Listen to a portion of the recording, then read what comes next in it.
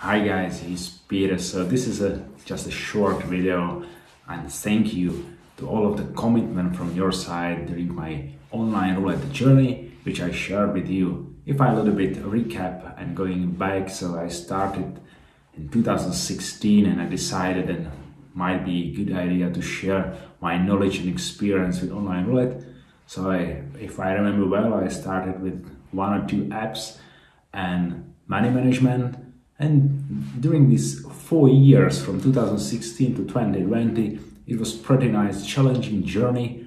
I ended up developing up to 30 plus apps. I know it's a quite a number, but true is then also I developed a lot, a lot during these years, and it's also because of you. So it's big thank you to the online roulette players and community and I really enjoyed our discussions, our simply ideas about systems and roulette ideas, how we can somehow beat the roulette, let's say in the brackets, we know it's not always like 100% possible, but I think we helped a lot ourselves with a good money management, interesting predicting algorithms, and for my myself, I also somehow developed a clear long-term strategy for me which works and you know it from my websites you can always read about that and if i combine it with a really interesting apps with a strong mind management and some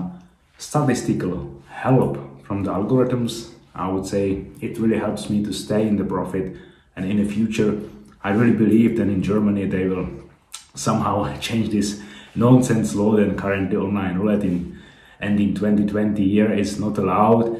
But I believe then in the middle of 2021 they will simply allow it again, and I will be able to come back to tables and challenge the online roulette with my apps and systems. And I'm happy that whoever somehow enjoyed my videos and simply liked the way how I challenge the online roulette, you have a chance to take some of my apps and purchase it. Of course, if you don't see the let's say added value or something helpful for you to just don't buy. That's easy.